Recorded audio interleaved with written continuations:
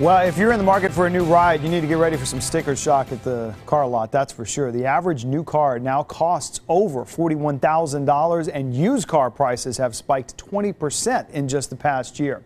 Credible.com personal finance expert Dan Roccato joining us this morning with some advice on maybe how to navigate this tricky car market. We just got done talking about the housing market. Dan, now we got to navigate the car market as well.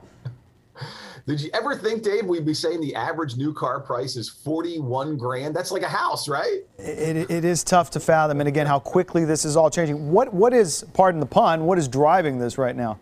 I like that. Thank you. I might use that later. Um, so here's what's going on. Inventory's down. New car inventory, used car inventory. There's simply less cars on the lot that are available to be sold for a lot of different reasons. Automakers have also cut their incentives, Dave. They don't need to provide those incentives, so that means car prices are more expensive. And finally, you and I are keeping our cars longer. The average car on the American road right now uh, is about 12 years old. That's a record high. So again, that cuts down the supply of used cars. So Supply is down, demand is there, prices are up.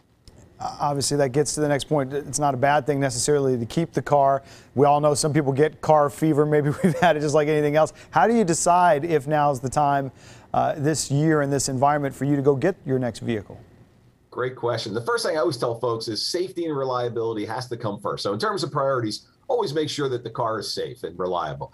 Number two, you want to carefully look at the ongoing cost, Dave, versus the higher payment. You know, so for example, you know, insurance, maintenance uh, of your used car versus the higher payment, some cases the size of Wyoming on a new car, right? So carefully balance those two. And finally, the good news is that used car in your driveway right now has a very high trade-in value and rates are pretty low. So if you finance a new car, you'll probably get a pretty decent rate.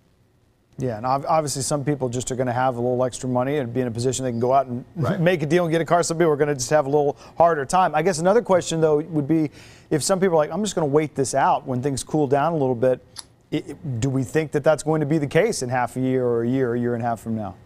Uh, good question. The answer is yes, but we don't know when. I suspect we're going to see this shortage at least through the end of the year. So expect prices to stay high at least through the next six months, I'm afraid. Yeah. So what are the tips if, if you really do are in, find yourself in a position where like I, I, need a new car right now or sooner rather than later? Right. What what are some of the best ways to go about doing that? You know, I'm not a big fan of leasing, but in some cases it actually does make sense. Here in Austin, you know, people we drive a billion miles, so leasing do- often doesn't make sense for us. But take a look at lease. It might you might surprise yourself there, especially if you don't drive a lot of miles.